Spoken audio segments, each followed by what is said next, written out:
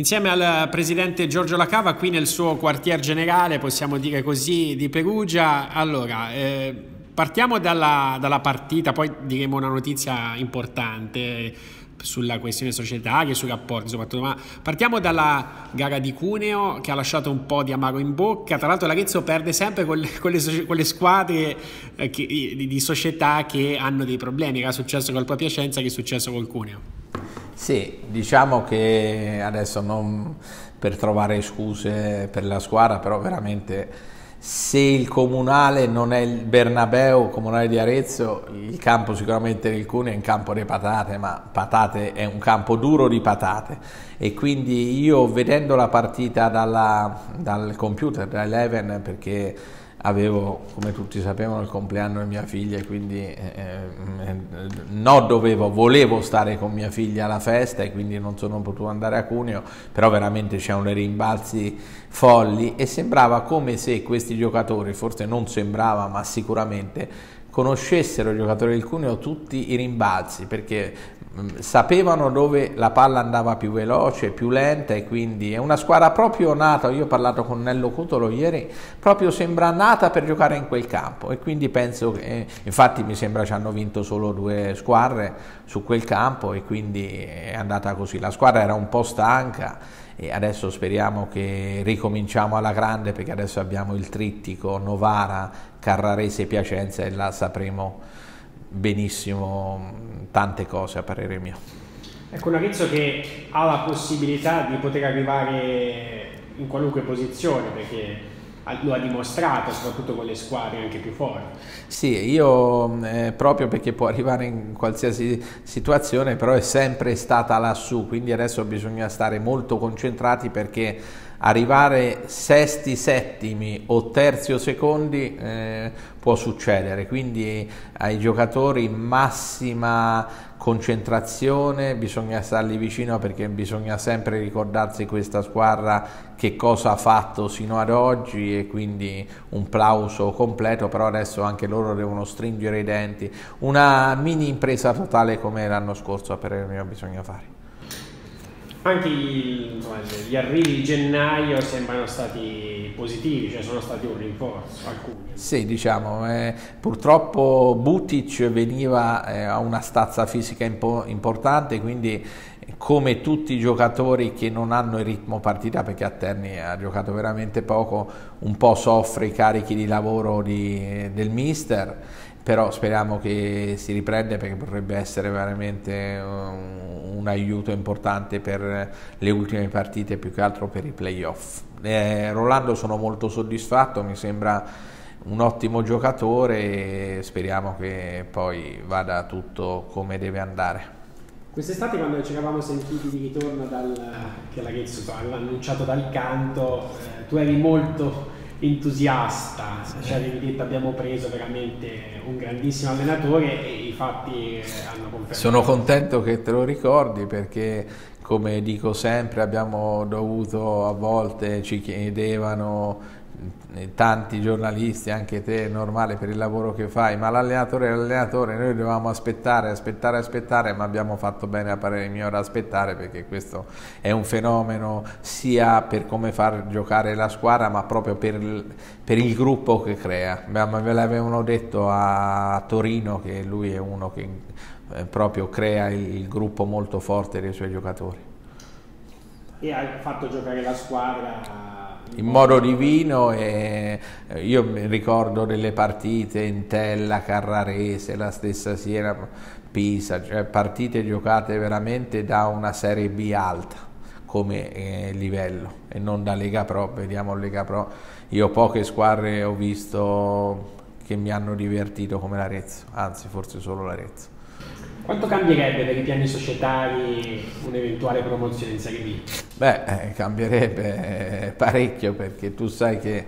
già dalla Serie B tu puoi pianificare bene, non, non, non sei costretto come, come dico la Lega Pro in bagno di sangue a finanziare in continuazione la squadra. Adesso vediamo, noi avevamo sempre questo programma triennale, ma vediamo se, eh, si, se potesse accelerare, io sarei il più contento di tutti. Quando ripensi all'anno scorso eravamo nel momento in cui l'impresa totale insomma, nasceva, eh, aveva mosso già i primi passi, ti sei mai pentito di, di quel passo? Assolutamente no, eh, io sono un entusiasta, sono un, come dico sempre, drogato del calcio, poi eh, in, in, pochi mesi ho fatto cose che sinceramente non pensavo che si potevano fare, sono, sono molto soddisfatto, poi come in tutte le cose della vita, non tutte le cose eh, vanno bene, ci sono dei momenti di crisi, però bisogna essere forti per cercare di superarli. Hai trovato comunque in Armando Pieroni diciamo, il principale ispiratore di questo? Ho detto centomila volte, te la ridico ancora, che Pieroni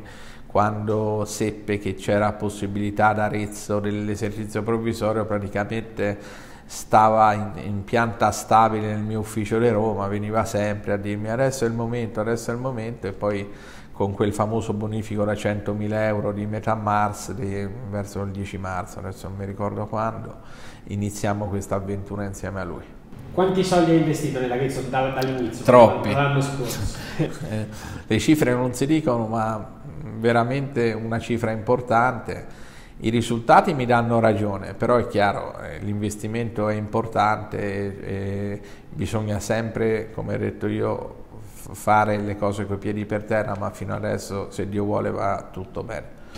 Che città hai trovato eh, ad Arezzo, cioè come ambiente, come... Ma io ottimo, ho tanti amici. La cosa bella del calcio è questo, che al di fuori di tutto, io anche ero andato prima in altre realtà calcistiche, sono stato diciamo dentro società, non sono stato dentro società, però l'importante a parere mio è che se tu sei uno diretto, sincero, vedono che tu vai là per il calcio, perché io eh, non ho ambizioni di fare lavori ad Arezzo e tutti lo sanno, la gente poi crei veramente rapporti veri, questo è successo anche in altre città che, di serie C anche toscane che io volevo prendere, mi sento eh, con delle persone anche se ormai non c'è più nessun interesse oggettivo, però questa è la cosa più bella che per me c'è per il calcio. Ti senti, cioè, la, la vivi come una parentesi della tua vita o proprio ti piacerebbe farlo per tanti anni il presidente della Lazio? Sì, beh, eh, tutti quando fanno qualcosa lo vorrebbero fare per sempre, poi lo sappiamo meglio di tutti, la vita è talmente strana, però per me uno deve farlo sempre come eh, se è l'ultimo giorno, quindi al massima determinazione, massimo entusiasmo e quindi andare avanti così. Ovviamente il calcio è una parte, forse anche piccola, fuga delle tue attività, vogliamo raccontare anche quello sì. che fai? Beh, que- piccola non tanto, eh. perché dico la verità, mi sta prendendo, oltre che dal punto di vista economico, ma come dico, il tempo, cioè io fortuna che certi lavori a Roma, come ho detto a altri tuoi colleghi, li avevo finiti, perché sinceramente il tempo che porta via il calcio è tanto, ma questo perché viene fatto con entusiasmo. Io mi ricordo che anche quando ero presidente di una seconda categoria perdevo tanto tempo tra parlare con l'allenatore, il, il, medico, il vicepresidente, i, eh, dirigenti, eh, quindi se tu lo fai con passione ti prende tanto tempo. Come dovrebbe essere fatto il calcio, se no meglio non farlo. Che tipo di presidente sei? Dai qualche consiglio, so, dal, cioè c'è uno scambio anche tecnico con dal canto, con i giocatori? Grandissimo esperto di calcio, è una battuta chiaramente, però eh, per tutte le partite che vedo che ho visto, qualcosina, qualcosa dentro sarà rimasto, però è una cosa questa proprio che dici te che non ho mai fatto né in seconda categoria né in Lega Pro, cioè l'allenatore assolutamente lui il responsabile, poi uno può essere d'accordo, non d'accordo, però le scelte le fa assolutamente sempre lui, mai condizionato nessuno. In questo calcio, cioè questo è un campionato che alla fine non si sa se può essere anche una fortuna, visto il caos che alla fine torni a vantaggio dell'Arezzo, può essere un'ingiustizia perché l'Arezzo ha fatto le cose in regola e viene trattato alla pari a volte no, di chi le cose in regola non le ha fatte, quindi un campionato falcidiato ma ecco, tu che hai fatto tutto in regola ti senti un po' tradito da, dal sistema calcio? Beh, tradito come penso a tanti altri presidenti, perché adesso non deve passare neanche il messaggio che tutti sono, che fanno le fiduzioni finte o fanno eh, cose strane. Ci sono veramente tantissimi presidenti che fanno come me le cose per bene, adesso sembra che c'è una stretta vera nella Lega Pro specialmente, quindi speriamo che da st'altro anno cioè tutte le cose, sono talmente semplici le cose da fare che bastano quei due o tre input e poi chi è serio si iscrive e chi non è serio purtroppo o non ce la fa non si iscrive. I tifosi, Presidente, in queste settimane però sono anche un po' preoccupati dal, da queste tensioni che sono emerse, queste frizioni societarie, questo dissidio che insomma è diventato fatto mediatico con il vicepresidente Massimo Anselmi. Eh, si era parlato di un CDA, che succede, che succederà? Allora, io ti dico, mh, mm, oggi siamo lunedì 4 marzo mi sembra, no? ti dico che nelle società Purtroppo quando uno fa le società, le fa chiaramente, specialmente se poi parliamo di una società di calcio, ovvero di gente che sa che va incontro a, a, a, bei finanziamenti che deve fare, a tante diciamo, rotture, anche se lo fa per la passione del calcio e della squadra, però ti dico che eh, la cosa che deve premere a tutti i soci e il bene dell'Arezzo in questo caso, perché non stiamo parlando di una società che vende pane, mozzarelle, gioielli, questa è una società che è sempre un SRL, ma che è una cosa tipica, cioè ha un, ha un, un, ha un tesoro che è enorme, cioè il tesoro enorme è la squadra della città di Arezzo in questo caso. Quindi io penso che bisogna superare, in primis anch'io, Massimo, intanto abbiamo avuto chiaramente delle frizioni nate da... È normale che nella vita uno vede una cosa bianca e uno la vede rossa, ci può stare, però in questo momento noi dobbiamo, proprio per non rovinare il tutto di eccezionale che abbiamo fatto, io parlo di società normale ma devo ritornare al discorso società straordinaria perché quello che abbiamo fatto in meno di un anno è una cosa di cui anche se io sono un super ottimista non pensavo che sarebbe andata così, quindi dobbiamo superare le nostre posizioni e cercare di sicuramente fino al 30 giugno continuare a, a cavalcare questo sogno che è un sogno per me fino a un anno fa assurdo, adesso abbastanza realizzabile. In ogni caso abbiamo posto delle basi molto importanti e quindi sia io che Massimo dobbiamo essere bravi per, per cercare di riunire un po' le cose e andare avanti. Anche perché aveva colpito all'inizio questa grande armonia che si respirava, no? tutti eravamo stati... E, e te la confermo assolutamente poi purtroppo, come ti ho detto, la società di calcio è una società che non è una società normale, una cosa, ci sono visioni differenti, nascono delle tensioni anche su gruppi piccoli e quindi diciamo, eh, poi anche per me potrebbe anche aver... Eh, in, sei stato anche un po' condizionato proprio da questi grandissimi risultati, forse anche quelli inconsciamente hanno messo tensione, perché se tu pensavi che eri primo a una decina di giornate alla fine del campionato, sinceramente anche il tifoso più ottimista, più ottimista è Arezzo, ti diceva ma di che parliamo? Quindi anche questo a parere mio, anche essere forse non abituati a stare là perché si pensava di un campionato normale, una metà classifica, forse aspirando a uno degli ultimi posti dei playoff, adesso sei qua, te la devi lottare fino alla morte, speriamo che vada tutto bene sia in campo che in società.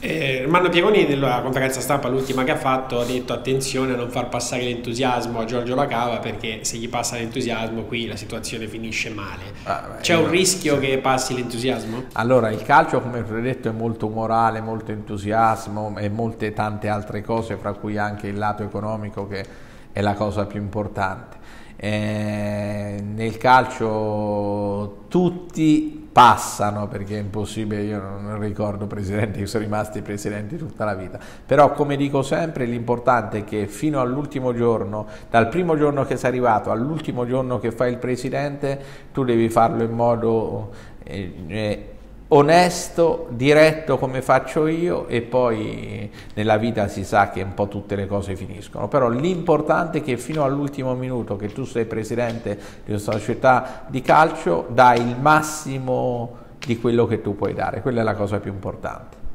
Diciamo che il, il, dissidio è stato per diciamo, discrepanze anche sul calciomercato, perché così lui ha fatto sì, intendere. Il dissidio, come ti ho detto, nasce dal fatto anche che parliamo proprio di calcio e quindi nel calcio uno è sempre sotto i riflettori, quindi questo può anche un po' pesare. Però ripeto, non, non, è che non voglio parlare del passato, dobbiamo guardare avanti. Adesso noi abbiamo tre partite che decideranno molto le sorti di questo campionato, ovvero Novara, Carrarese e Piacenza, quindi dobbiamo assolutamente concentrarci su queste e su poi, ahimè, anche da un punto di vista economico, sulla scadenza molto importante del 16 marzo dove un'altra volta eh, i soci dovranno versare sulle casse della società Arezzo parecchi soldini perché è una data che raduna parecchie scadenze che la Lega ha fatto. E comunque sia, al di là di come finirà, eh, Giorgio Lacava farà la sua parte.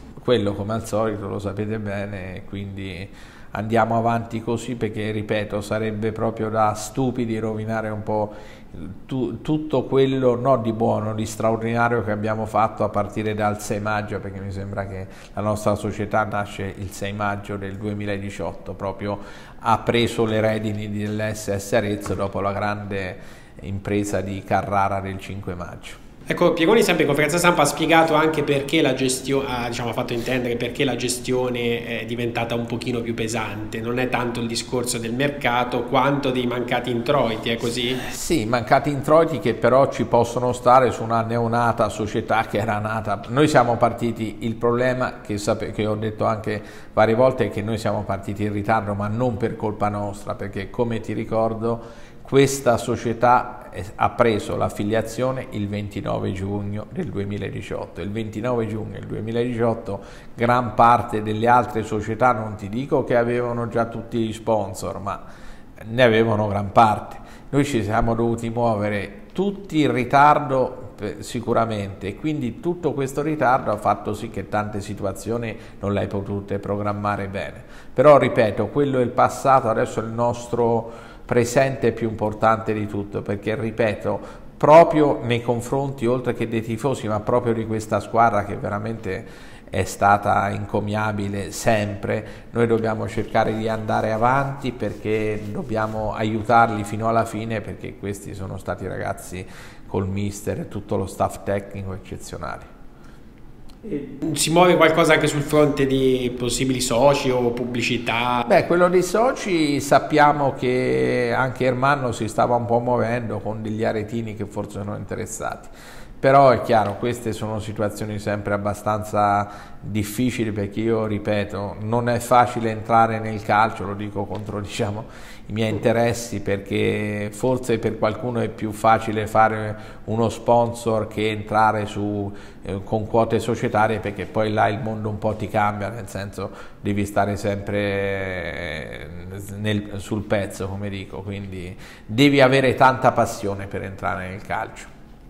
Il rapporto invece con l'Orgoglio Amaranto che mh, mm, si è riunito anche nei giorni scorsi, c'era stata anche una nota tempo fa in cui invitava no, ad abbassare i toni sì. a, a, entrambi. No, no, ho parlato proprio in questi ultimi giorni con Orgoglio Amaranto perché ci stiamo un po' eh, sempre confrontando per questa situazione societaria che penso che, spero anzi che si risolverà a breve, però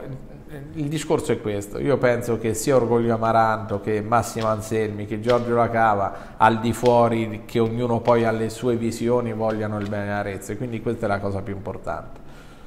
A livello di settore giovanile, che era un altro dei temi ovviamente, che è il futuro, no? si dice sì. sempre. Beh, settore giovanile abbiamo, mi dice Ermanno, due o tre buoni anche già giocatori che stanno già andando molto molto bene, già sono stati anche visti da, da squadre chiaramente di categorie superiori. Anche quello è stato l'anno zero. Io penso che il settore giovanile, dopo tante problematiche che non nascono nell'Arezzo dell'anno scorso, ma nascono in quelle società che stanno per fallire, ovvero di gente che si avvicina non per far tutto ma non per far calcio, le solite marchette come ho detto un po' forte in televisione ma lo confermo, quindi anche quello è l'anno zero, quindi non puoi pensare che va tutto perfetto, cioè noi stiamo facendo dei, dei sacrifici enormi, ci sono le trasferte in Sardegna, delle squadre giovanili, cioè veramente come ti ho detto la Lega Pro in bagno di sangue, quindi penso che anche quelli che sono fuori dovrebbero essere un po' tolleranti nei confronti di una società che ha speso tanto, è ripartita con entusiasmo, poi chiaro non sarà la società migliore del mondo perché nessuno è migliore.